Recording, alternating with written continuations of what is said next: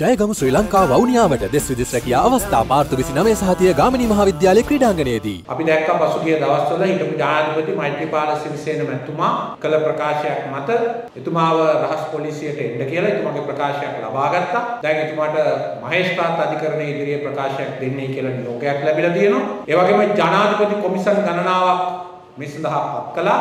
ඒ සියල්ලේම යම් යම් යෝජනා විශාල ප්‍රමාණයක් ලැබුණා. ඒ ඔස්සේ කරුණු ක්‍රියාත්මක කිරීම මේ රජයේ වගකීම. ඇතරම මේ රටේ කිසියම් ආකාරයක අන්තවාදී සංවිධානයක් 2017 වර්ෂයේදී පමණ කාතන් කුඩියේදී ආරම්භ වුණා සහරාන් හසීම්ගේ මූලිකත්වය. ඒකේ වාර්තාවල සඳහන් වෙලා තියෙනවා. ඒ වගේම 2015 දී මහින්ද රාජපක්ෂ මැතිතුමාගේ ජනාධිපතිවරණයෙන් පරාජයට පත් වුණාට පස්සේ රට පුරාම කිසියම් ආකාරයක නුසන්සුන්තාවයක් ඇති කරලීම සඳහා ක්‍රියාමාර්ග ගැනීම. විශේෂයෙන්ම බෞද්ධ ජනතාව අතරේ ඉස්ලාම් භක්තිකයන් සම්බන්ධයෙන් යම් යම් වෛරී සිදුවීම් ඇති කරන්න උත්සාහ කළා. ඒ වගේම ඉස්ලාම් ප්‍රජාව ඇතුලේ බෞද්ධයින්ට එරෙහිව වෛරී සිදුවීම් ඇති කරන්න උත්සාහ කළා. ජනාධිපති කොමිෂන් වාර්තාවේ තිබෙනවා සහරාන් හසීම් රට පුරාම හම්බන්තොට ඒ වගේම ගම්පහ නුවරඑළිය වගේ මැදවච්චය ඇතුළු බොහෝ ස්ථානවල කඳවුරු පවත්වලා මුස්ලිම් තරුණයින්ව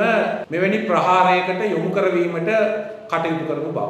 ඒ සඳහා නොයෙක් අවස්ථාවල මේ රටේ සිදුවෙච්ච සිදුවීම් යොදාගත්ත බව.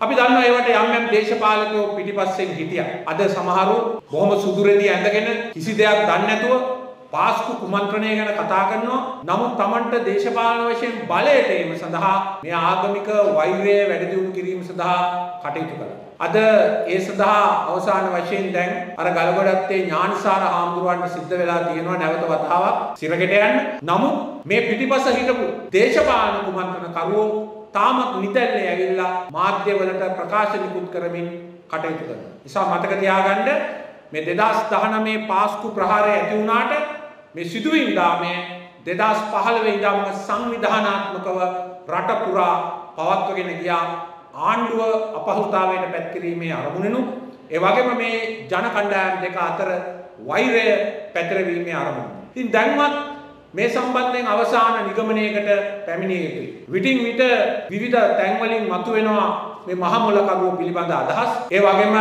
අපි දැක්ක මේ පසුගිය වසරට පෙර වසරේදී තමිල්නාඩුවේ කොයිම්බටෝවල මේ සහරාන් හසීන්ගේ කණ්ඩායම නැවත වතාවක් බෝම්බ පිපිරීමක් කළා.